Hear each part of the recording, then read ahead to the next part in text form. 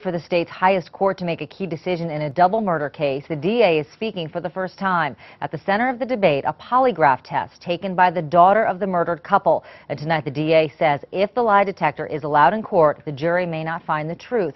Action 7 News anchor Tanya Mendez joins us now, live from downtown Albuquerque, with the details.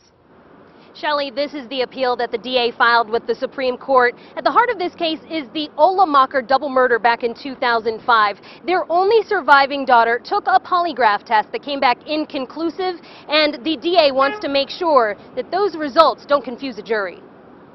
Ronald Santiago is the man who will go on trial for the 2005 murder of John and Bernadette Olamacher.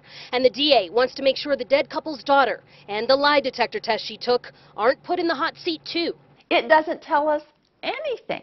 She it she wasn't found to be deceptive and she wasn't found to be truthful. For reasons no one in the DA's office could answer today, back in 2012, Renee Olamacher was asked to take a polygraph test, a test that came back inconclusive and is now delaying a case that's already eight years old. The defense argues the jury needs to hear the results of that test at trial. Her credibility, her believability is one of the most important things in this trial. But the prosecution says an inconclusive test is irrelevant and will only confuse the jury. We're concerned that jurors are going to say, well, there must be something important about this, but we don't know what it is, and it doesn't really make sense. The Olamacher's daughter will be a key witness at trial. Kari Brandenburg admits the defense has the right to poke holes in the witness's credibility, but says an inconclusive test isn't the way to do it.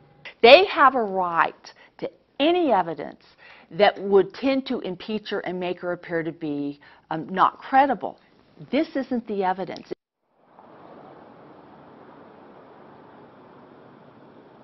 And this appeal will delay the trial from getting underway, perhaps days, weeks, or even months. But the DA tells me that she would rather this jury get the case right than get it fast. Reporting live in downtown Albuquerque, I'm Tanya Mendez, KOAT, Action 7 News. A district court judge already decided to allow the polygraph into evidence. If the Supreme Court sides with the judge, the district attorney says she'll bring in an expert witness to explain the test at trial.